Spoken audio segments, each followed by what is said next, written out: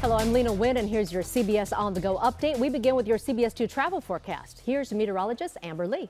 Hi, Lena. We're still looking at wet weather moving into the eastern seaboard. We even see snow going into the northeast as we head into the next couple of days. Uh, also, cold weather moving back into the Great Lakes region, but here in Southern California, things remain toasty and above average. We even have a red flag warning. Double check with your airlines. We do have some delays if you're heading into Dallas or Phoenix, but again, here in Southern California, we're looking at more of the summer-like conditions, a red flag warning with a wind advisory for portions of LA and Ventura County. Temperatures will remain in the 70s and 80s, 10 to 15 degrees above average. Then as we head into Friday and into the weekend, a big cool down on the way as another low pressure system slides into the area. It's still unclear whether or not this low pressure system will bring us any moisture at all. But for now, we're looking at temperatures staying above average for at least the next 48 hours.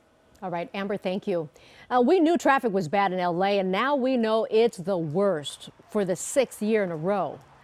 Chris Martinez has more on how the gridlock is taking a toll and costing us all a lot of money.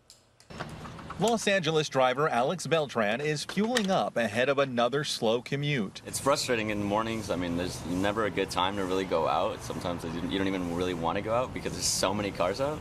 A new global traffic scorecard shows for the sixth straight year, Los Angeles is the world's most gridlocked city, with drivers spending an average of 102 hours stuck in traffic. Why is LA so bad with traffic? We have beautiful weather, we have nice scenery, we have lots of recreational activities, so we have a lot of people moving here to Southern California. But with more people come more cars and trucks. All that congestion comes at a cost for LA drivers, more than $2,800 a year in time wasted, extra gas, and higher prices businesses pass on when their fleets are stuck in traffic. Other U.S. cities don't fare much better. New York tied with Moscow for the number two spot on the list. New York also boasts the worst U.S. traffic corridor, the Cross Bronx Expressway, where the average driver wastes 118 hours a year.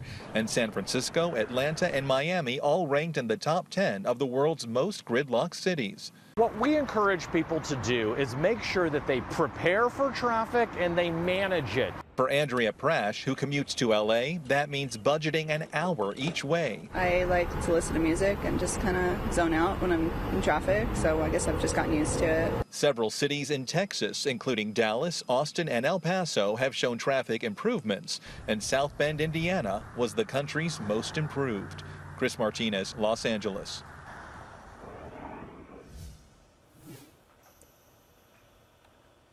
And now here's your CBS On The Go Sports. New England Patriot star Rob Gronkowski is having a really bad week. On Sunday, his team lost to the Super, in the Super Bowl, and yesterday, his house was burglarized. Police responded to a burglary call around 6 o'clock last night at Gronk's home in Foxborough, Massachusetts.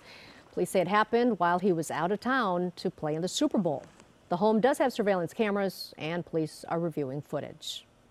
Immediately following CBS 2 News at 11 tonight, watch The Late Show with Stephen Colbert. Guests include Wanda Sykes, Thomas Haden Church, and actress June Diane Raphael.